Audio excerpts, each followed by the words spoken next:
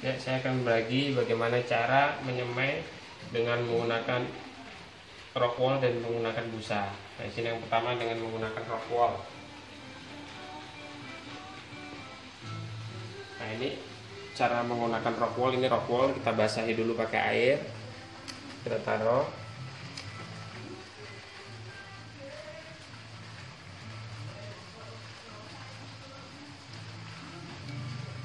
rokokannya dipotong kubus. Nah seperti ini. Ini mudah dilepas ini cuma nempel aja.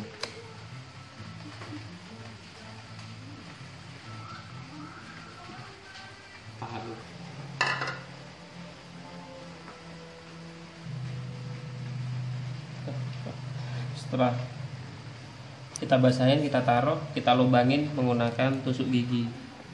Nah, seperti ini. Seperti ini. Seperti ini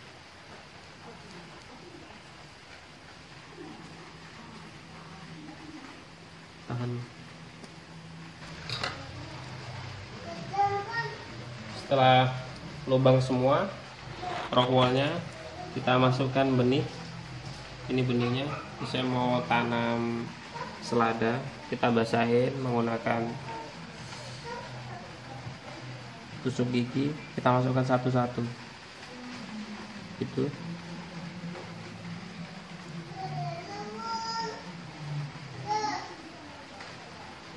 di atasnya aja nggak apa-apa.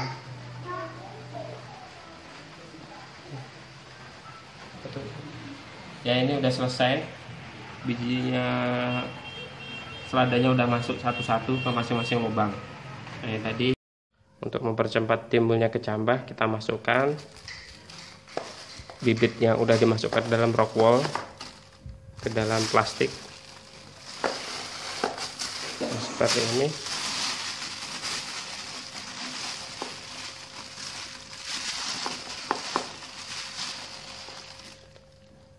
kita diamkan kurang lebih 36 sampai 48 jam. Nah, ini karena tanaman selada dia agak lama. Kalau seperti sawi sama bayam dia cenderung 1 kali 24-nya udah timbul kecambah. Baik, setelah nanti satu eh, 36 jam sampai 48 jam dibuka aja plastiknya.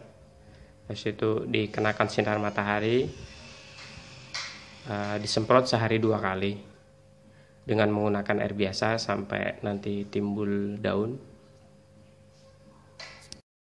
Nah ini semaian rockwall hari ke-12 seperti ini.